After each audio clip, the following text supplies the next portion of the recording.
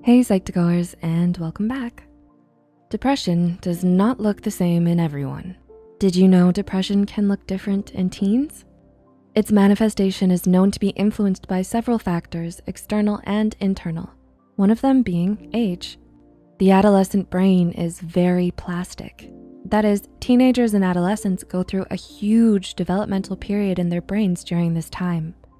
These changes are also paired with life stress unique to adolescence and a brain that is not fully developed. This means that some mental health conditions such as depression may manifest differently in teenagers versus adults, but it in no way means that they are any less significant. In this video, we're going to explore some signs of depression in teens. So with that said, here are 10 warning signs of depression in teens. Number one, more irritability. Why do some teens seem to struggle with their temper? The teenage brain is already prone to mood swings. With so much forming and changing, they can have a hard time regulating emotions as it is. And with depression, these mood changes can heighten. According to an article from Very Well Mind, irritability and defiance are much more common in depressed teens than depressed adults. This may be because adults are generally more equipped to handle stronger emotions and are therefore less prone to acting out. Number two, sensitivity to criticism. Do you know a teen who avoids taking risks in fear of criticism? This may be a result of increased sensitivity to criticism, which is common in teenage depression. As reported in a study by Morin in 2020, it's normal to be a little nervous about what someone might say However, depressed teens may find themselves so afraid that they avoid doing something they really love. Though the exact reason isn't clear, this may have something to do with the lower levels of self-confidence and self-worth that come along with depression. It's important to notice that teens who find themselves in this spot aren't just lazy or insecure. There might be something more to the story.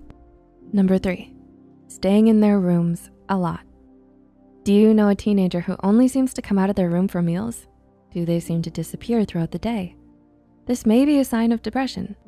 A common sign of depression in adults and teens is social isolation. For many teens, your rooms are primarily what you consider to be your space, and that tends to be where you isolate. It's not that you don't wanna see others or to be around them, but more so that your depression may be forcing you to only feel at ease when you're alone. Number four, Selective social withdrawal. Do you know a team who seems to withdraw from certain people, but not others? It turns out that depressed teens tend to socially withdraw more selectively than adults. Typically, depressed teens might hold on to close friendships and relationships and isolate from family. Adults, by contrast, tend to isolate an equal amount from almost all of the relationships in their lives. Number five, throwing themselves into work. Do you know a teen who seems to bury themselves in schoolwork? Does it seem like they spend a long time working? There are multiple reasons for this, but among other things, this could be a sign of teenage depression. Distraction is a common coping mechanism for depression, and teens often have a heavy plate of work. Thus, some of you resort to temporarily distracting yourself with assignments, even those that might not be due anytime soon. Number six, slipping grades. On the flip side, another common sign of depression in teens is that their grades might slip. On the outside, this may look like laziness, but this could be a sign of something bigger. Schoolwork is demanding and depression can take a toll on someone's mental state. Therefore, if a teenager's grades are slipping, it might be because depression is taking away the energy and motivation for them to do their best. Number seven, harder time focusing. Do you or does a teen you know seem to have a harder time concentrating than normal? With anything from schoolwork to hobbies, a harder time focusing on everyday tasks could be a sign of teenage depression. According to Smith and others in a study published in 2020, depression can be very energy consuming. And as a result, many teens find it harder and harder to concentrate, even on things that would normally capture their attention. Like other signs on this list, it's important not to assume laziness if you notice this in yourself or in a teen around you. Difficulty concentrating could be a sign of not only depression, but a number of mental health issues that are not your fault. Number eight, changes in energy. Does a teen close to you appear suddenly more restless or sluggish? Both of these changes in energy could be signs of depression. According to Stanford Children's Health, sluggishness in depressed teens shows up in their speech, reactions, and movement.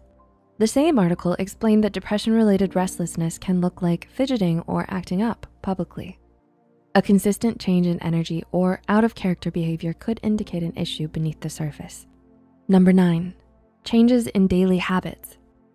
Do you notice different eating or sleeping patterns in a teen? Similar to adults, changes in sleep and appetite are common signs of teenage depression. Whether eating and sleeping too much or too little, teens with depression often find themselves taking less care of their health and well-being.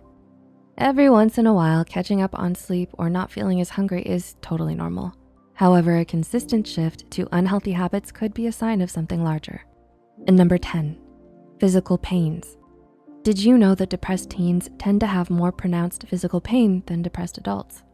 According to Help Guide, depressed teens tend to be more impacted by aches and pains than depressed adults. These physical pains can be anywhere in the body and seem spontaneous.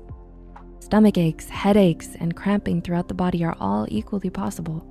If you or a teen you know continues to ache without any other physical condition, it could be a physical manifestation of depression. Regardless of age, depression is a very real and very serious mental illness that can creep onto you silently. Therefore, it helps to keep an eye out for its snare. But you don't have to fight it all on your own. Don't be afraid to ask for help, nor let the stigmas attached deter you. No matter how bad it gets, there's always hope that things can get better. Reaching out to a psychologist or a counselor and getting the help you need can not only improve your life, but also encourage others to break away from the stigmas to seek help. We hope we were able to give you some insight into common signs of teenage depression and how it may differ from depression in adults. Did we miss anything? What are some other areas it manifests differently? Leave a comment down below and please feel free to share any thoughts you have as well. If you find this video helpful, be sure to hit the like button and share it with those out there figuring out the complexities of this disorder. Don't forget to subscribe to Psych2Go and hit the notification bell for more new videos. And as always, thanks for watching.